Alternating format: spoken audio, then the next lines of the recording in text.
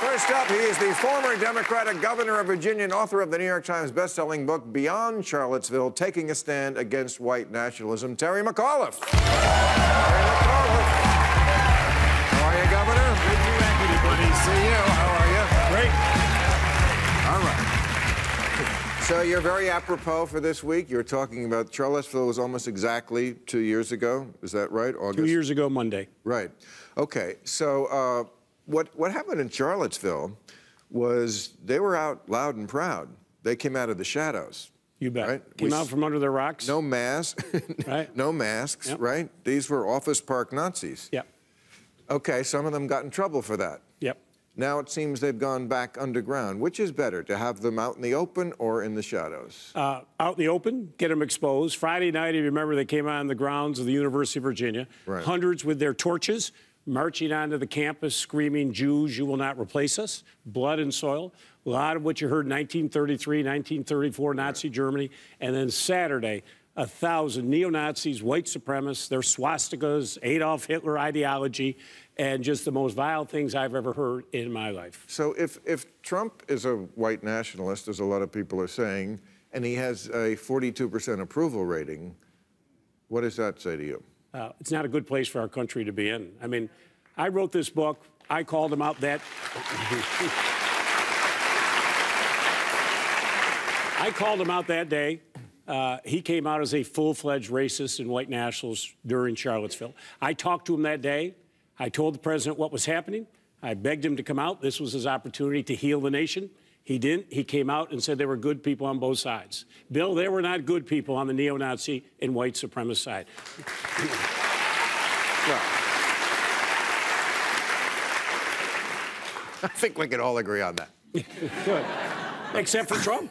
I Yes. mean, he refused to do it. Yeah. Okay. So, um, do you think this next election is going to be on the up and up? Oh, I'm very concerned. Russia is going to be as active as they've ever been. You know, bills introduced in Congress. Mitch McConnell won't bring them up. Oh, I'm very concerned.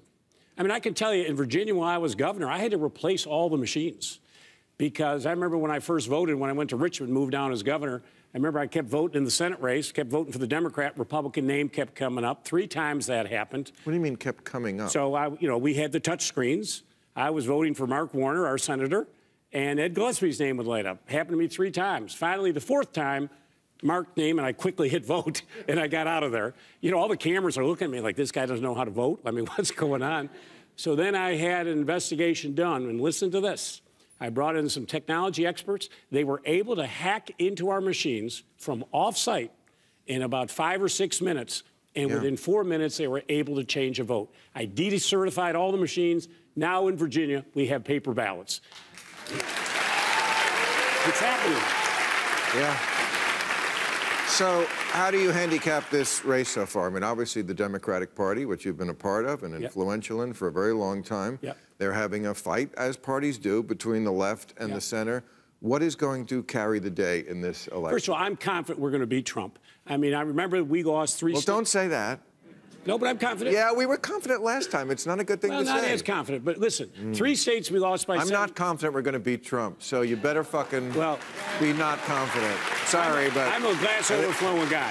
But we lost Yeah. three states by Well, a president 77,000 glass. votes. 92 million people did not vote. Okay. We got to get them out. We got to fire them up. We got to win those. Well, then don't tell 'em We it's gonna go good. Senate. All right, we got to do it.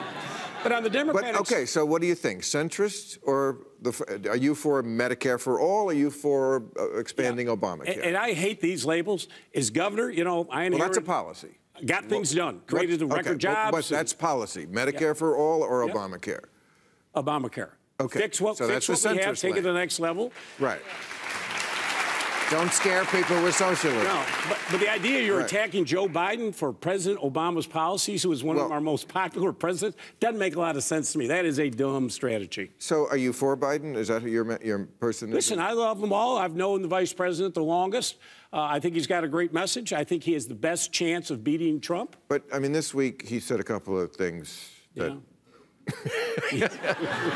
I mean, you know he doesn't mean it. Yeah. You know, he said something about uh, poor kids are just as smart as white kids. Yeah. And then he said, uh, we believe in, in facts, not truth. Truth, yeah. Um, no, truth over facts.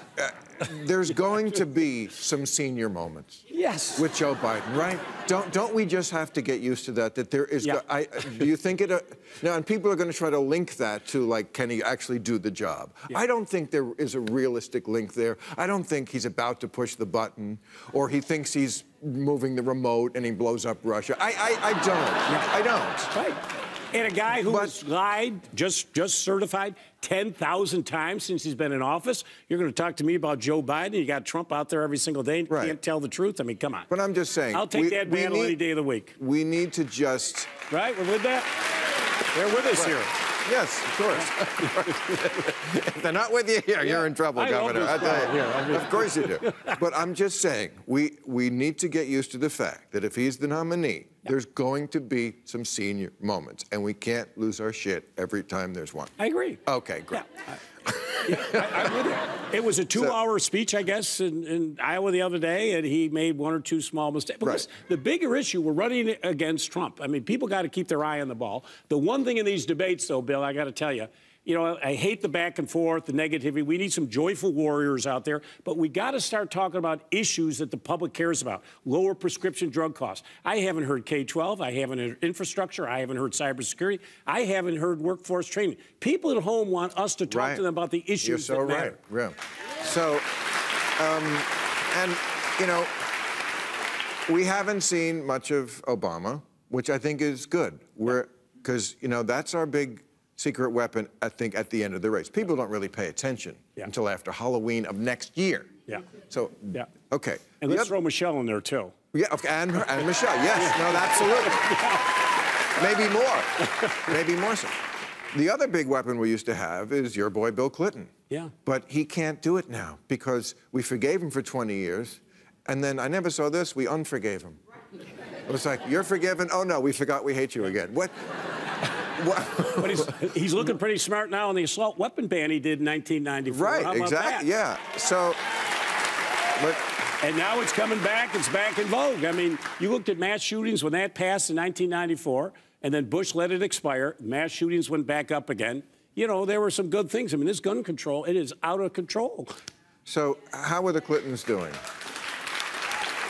You're close with them. Are they doing okay? Yeah, sure. I mean, they're, you know, they both have had spectacular lives. I mean, he was a great president, left with the highest appro- two, approval rate of any two-term president. You know, neither one of them ever did this show.